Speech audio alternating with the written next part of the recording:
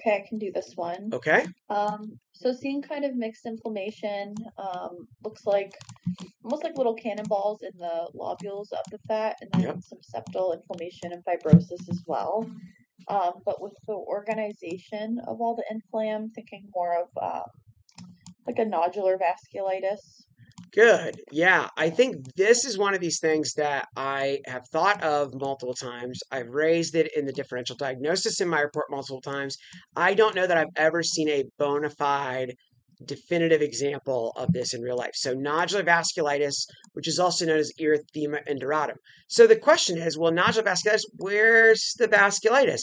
So that's the problem with this. Is sometimes you see it with vascular damage and vasculitis. Probably this is kind of a bit of that right here.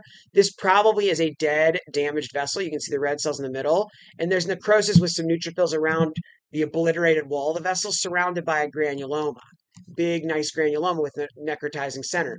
So really, though, it really depends if you think that's a vessel or not. You could call this a necrotizing granuloma, or you could say maybe it's granulomatous necrotizing vasculitis it's sometimes hard to decide which thing is the primary thing here. So the way I think of it is if I see granulomatous stuff with a lot of necrosis and anything that suggests possible vascular damage, I number one, I want to make sure it's not infectious, right? We got granulomas with necrosis, infection, infection, infection. We got to rule that out.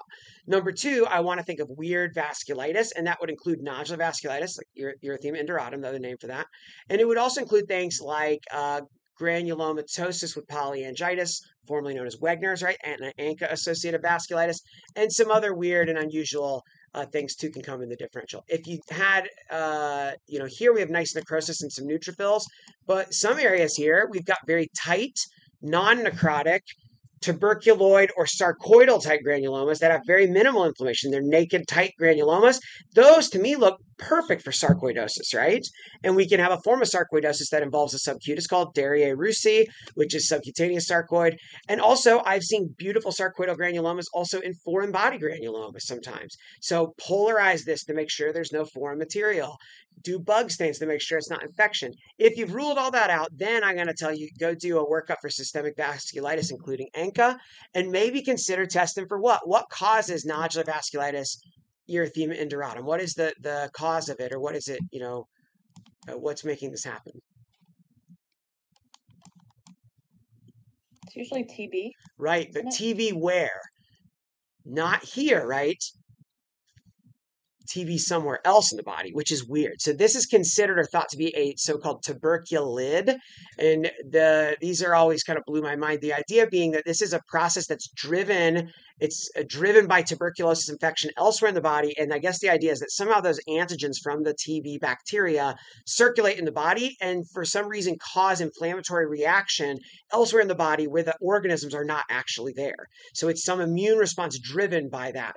And we can see other id type reactions, right? Like the classic id being like this spongiotic and perivascular and edematous eruption that you get where you have fungus on your feet and then you get this inflammatory uh, eruption on the arms or the, or elsewhere that are driven by the immune response related to the fungal infection on the feet. That blew my mind when I first heard about id eruption or id reaction.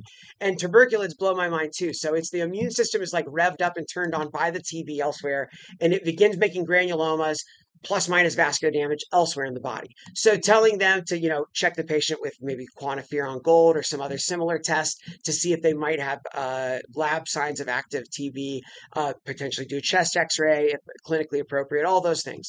So the reason I'm bringing all this up, these panniculitis cases, we didn't really delve into the the uh, the philosophy of it, but they're hard. I find these often really challenging uh, because they don't always neatly fit into boxes, and oftentimes the differential is broad, and oftentimes I'm left with saying, "Well, I don't see infection, but but you might want to culture to make sure it's not infection, and you might want to do uh, X Y Z on a laundry list of different things to try to figure out the case," which is kind of frustrating and unsatisfying because we often don't find out what the actual answer is unless someone goes back and gives me follow up.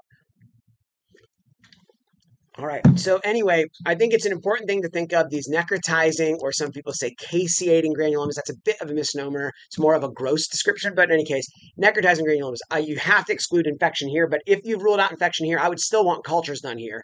Then I would say do quantiferon and and check the patient for TB and also check them for ANCA while you're at it, probably because ANCA. One of my mentors, uh, Phil Cagle uh, who's a lung pathologist. He told me once that you know that uh, I think there was a case that he had been using in a study set as like a good example of granulomatosis with polyangiitis Wegener's, and ended up the patient ended up later they found out they had TB, or else it was vice versa. But he was bringing up the, and I love that he told me that story because the point was is that even for an experienced lung pathologist, TB and and Wegener's can look so similar sometimes that you could you could really confuse them. So I thought that was a really important pearl that I've always carried with me that that, that disease can sometimes they have vasculitis, sometimes they don't.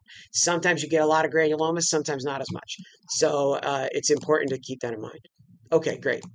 Um, next case.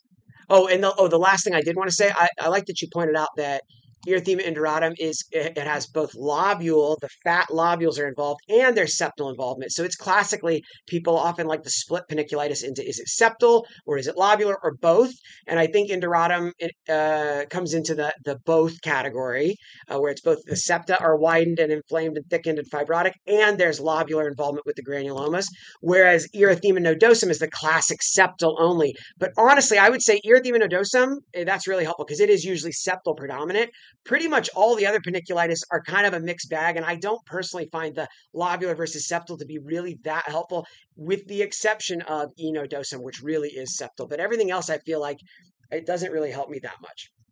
If you find it helpful for you, though, use that. Okay. All right. Now 10.